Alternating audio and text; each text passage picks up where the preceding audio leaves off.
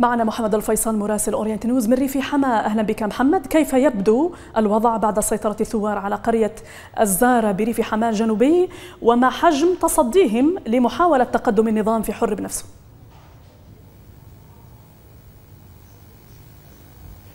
نعم معارك شرسة تدور بين الثوار وقوات النظام والميليشيات الشيعية في ريف حماة الجنوبي بعد أن تمكنت غرفة عمليات ريف حمص الشمالي المؤلفة من عدة فصائل جبهة النصرة أحرار الشام أهل السنة والجماعة والأجناد.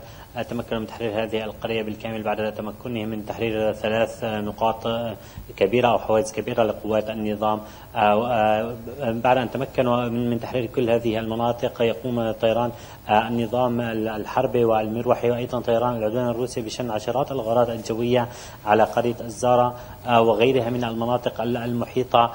بها. طبعا الثوار من خلال من خلال تحريرهم لهذه القرية اغتنموا عربات عربة BMP ودبابة وأيضا تمكنوا من قتل وجرح عشرات من قوات النظام والمرتزقة التابعين له فيما تمكنوا من من أسر أكثر من 30 عنصرا للنظام.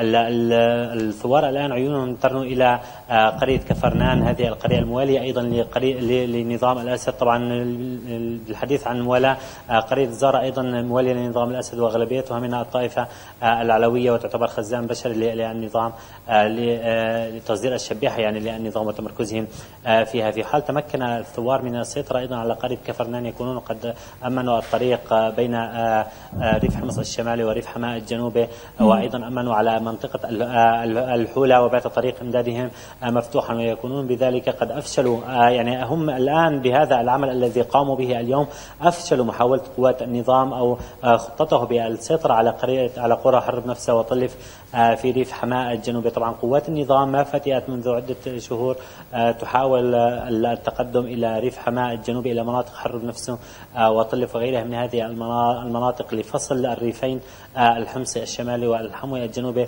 عن بعضهما تماما وإطباق الخناق والحصار على منطقة العلا. طيب. بسيطرة الثوار على هذه المنطقة يكونون قد أفشلوا كل هذه المحاولات أو أفشلوا هذه الخطة للنظام تماما. والآن بات النظام فقط في مكان المدافع عن نفسه في منطقة كفرنان لأنه في حال تمكن الثوار من السيطرة عليها سيكون سي يعني سيكونون قد تمكنوا من فتح الريفين على بعضهما تماما وأمنوا الطرق طرق إمدادهم بالكامل. طيب هذه التحركات للثوار في الفترة الأخيرة هل تقابل بقصف وغارات جوية على الجبهات هناك؟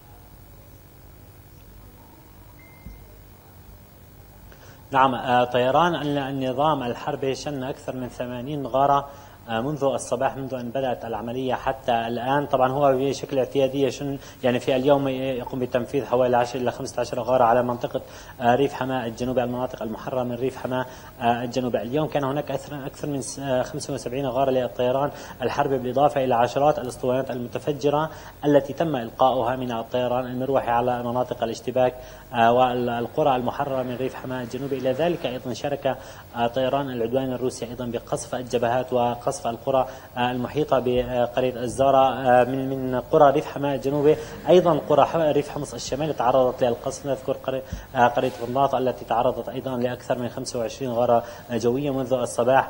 حتى الآن طبعا تشهد منطقة ريف حمص وريف حمص الشمالي منطقة كفرنان حركة نزوح باتجاه المناطق. مناطق المناطق التي تسيطر عليها النظام تخوفا من تقدم الثوار إلى هذه المناطق. شكرا جزيلا لك محمد الفيصل مراسل أورينت نيوز من ريف حما.